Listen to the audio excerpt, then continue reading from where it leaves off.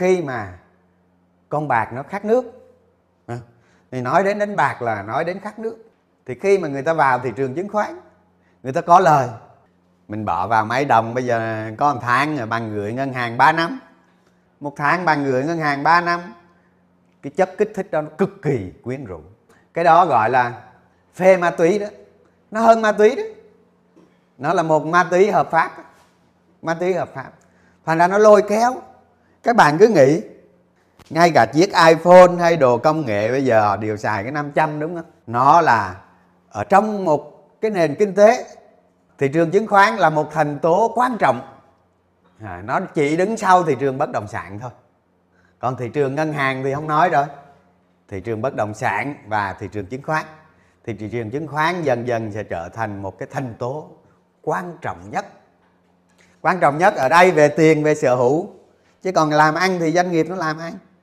Thì khi mà khi mà thị trường nó nó tăng nó có dấu hiệu nó tăng nóng thì nó lan tỏa đi khắp mọi miền tổ quốc và nó thu hút dòng tiền vào.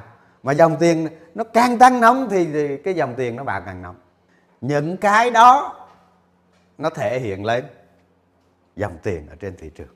Tức là nó thể hiện lên những cây như thế này. Không các bạn nhìn lên màn hình các bạn thấy. Nó thể hiện lên những cây như thế đó thành ra, các bạn nhiều khi, các bạn am hiểu vị mô rồi, điều đó là cần thiết và quan trọng.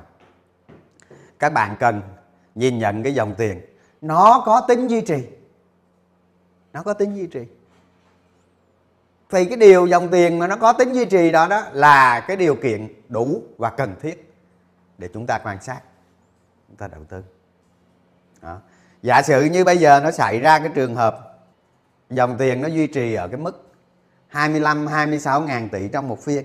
Và nên đã chắc chắn lên 1.500 điểm, thì chúng ta sẽ vừa đầu cơ, vừa đầu tư. Từ đây cho đến cuối con sống tôi không có cấm đầu cơ bao nhiêu, tỷ lệ bao nhiêu, tôi không có cấm.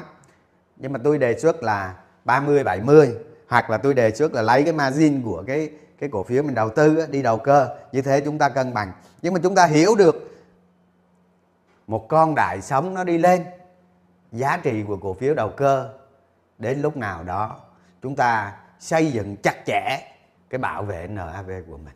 Tôi chỉ cần cái hội chúng ta tuyệt đối tuân thủ cái bảo vệ NAV của mình trong tương lai gần thì chắc chắn tất cả mọi người sẽ thành công.